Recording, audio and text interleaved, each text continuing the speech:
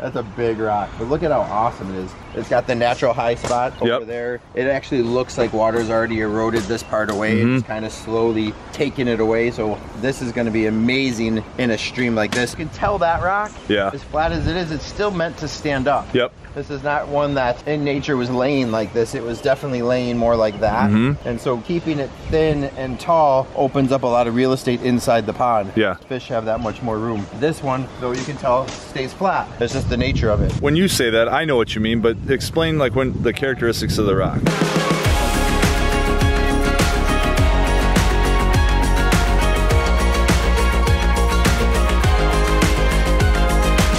All right, so we've got a little bit of reinforcements. We've got Luis over here, Jack. We are back after a weekend. We got a little bit of rain last night. You haven't seen much measurable progress other than getting the reservoir in. We did bring out some of these flow cell drainage panels that we are going to put over top of the reservoir just to help beef up the support on top of the AquaBlox, as well as provide a little bit of extra mechanical filtration because of the layout of these and because of the size of the boulders we have over here that we're gonna be setting on top. So we're just beefing it up a little bit. We also have some extra people today. So you've got the reinforcements over here other than Luis. We got some new people. Who do we got over here?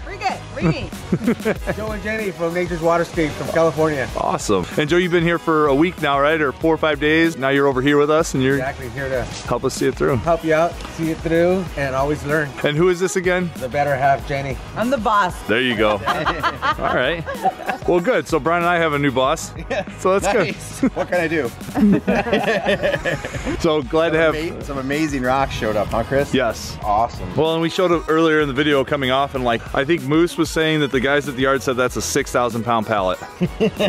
like the wheels were, were starting to. Well, we'll see if this machine can handle it then. I right? think I think it's got it. That's a big rock. But look at how awesome it is. It's got the natural high spot over Yep. there. It actually looks like water's already eroded this part away. Mm-hmm. It's kind of slowly taking it away. So this is going to be amazing in a stream like this. And so if you notice the rocks that have been picked out, a lot of them have more of that flat ledge rock type look, especially the second load that's coming. And it's because the project that we're doing is more of this deep stream system. Yep, so Unlike the last one we did. Yeah. Know, crashing waterfalls down a nine foot slope. Yeah. This is basically a level backyard. And so we want to really twist and turn this stream a lot and then use more of this ledge rock type stuff. That's great. And then some of the other ones that are a little taller, the thought was this one section of pond, Mm-hmm. he really wants that thing to be three feet deep. So I tried to find stones that were at least two, two and a half feet deep so you weren't stacking boulders. Sure. just dropping one big rock at a time.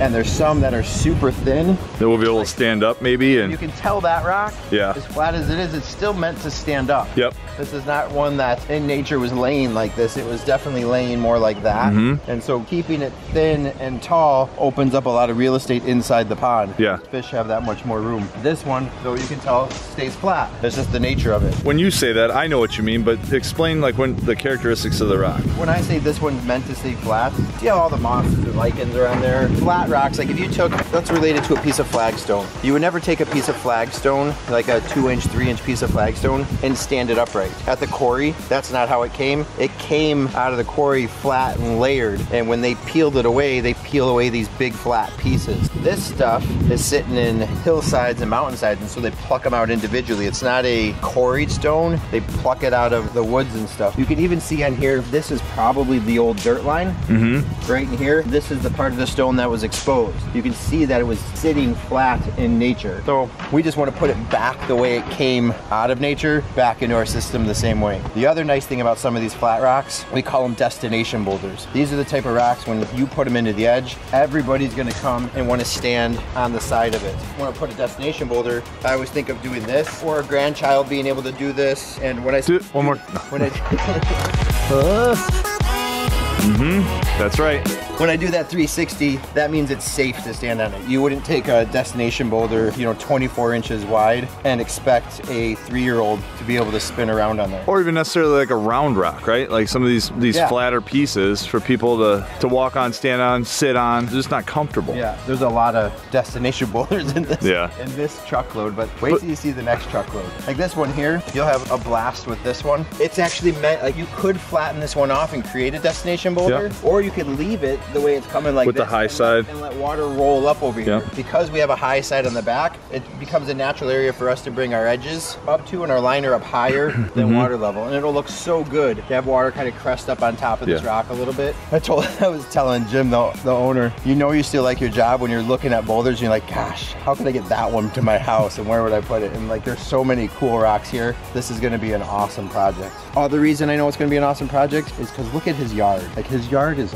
awesome. Like really, really cool plant material. Mm-hmm. Nothing's normal. Everything's more of a specimen type plant and you can tell he enjoys it. So he's gonna be out here tinkering with this thing mm-hmm. all the time. He, in fact, today, I mean, it's early in the morning. We're here at 7.30 and he's like, hey, Brian, if you guys could finish like that section over there, then I could work right behind you and start doing landscaping and everything else. So you never get homeowners that excited to work right behind us. It's almost like he went from like a Japanese maple addiction and then that kind of petered out and then got into the specimen conifers. Yep. So he's Even some of his perennials are, you know, he's got some different stuff. Little got some unique. Pretty like common staple type stuff, but everything complements each other. You can tell he put some thought into grabbing plants before he just goes out and buys them. that makes us feel good because it gives us some extra assurance knowing that it'll be well taken care of when we're done. 100%. So, all right. All right. So like I said, we're gonna put these flow cell panels in, and then um, and then we're gonna start strapping some boulders. We'll work on the overflow area and make some measurable progress today. So good deal.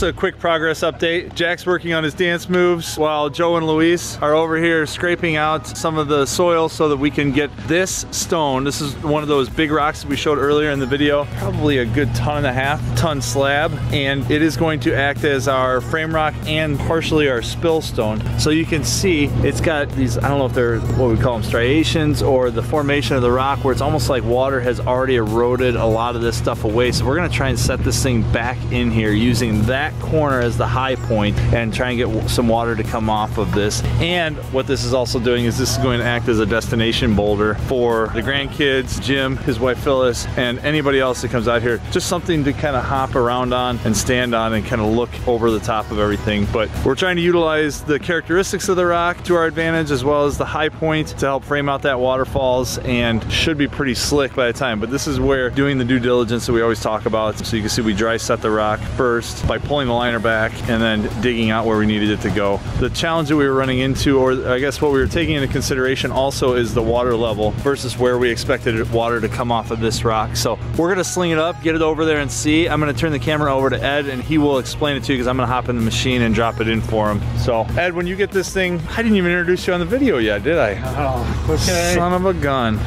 I mean, a man who needs no introduction, all right? So we have Ed out here for a majority of the week helping us out on this project, getting kind of caught back up after it was just Jack attacking myself.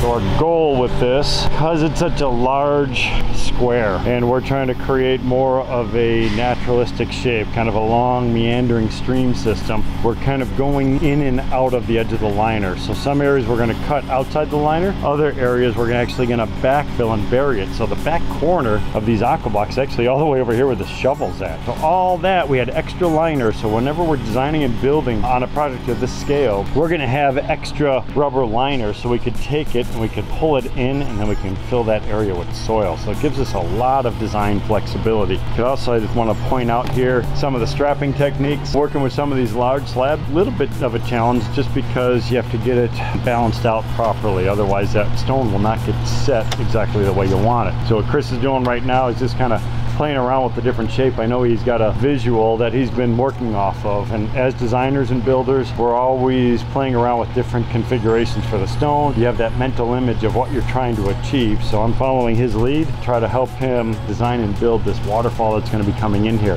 This, he was talking about setting this up as a destination, right, Chris, for the grandkids? Yeah, thinking about it that way, it's just a big flat slab, but the way the rock is, it's it's almost like it's already had water kind of running and eroding away. So I was, mm-hmm. what I was hoping was to keep this as the high spots, and then you know we're only going to have a little six-inch tall waterfall in through mm-hmm. here, and, and maybe if we can do a V or something where we block it up, just to get that water to maybe to crest somewhere at this height while all that's high, and just using the natural formation of the rock to our advantage. I love it. I think you're absolutely right. You know, with the way those layers are in there, with that sandstone, it's, it's totally been eroded by flowing water. Yeah. So I think it's just going to be a natural fit. I love it.